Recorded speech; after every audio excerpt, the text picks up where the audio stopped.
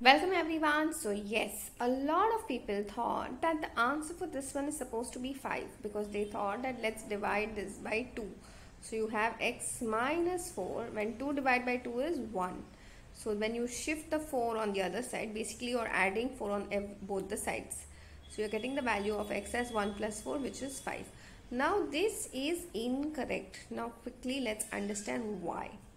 The reason for that is that when you have a variable, it's very important that the coefficient, here the coefficient is 2.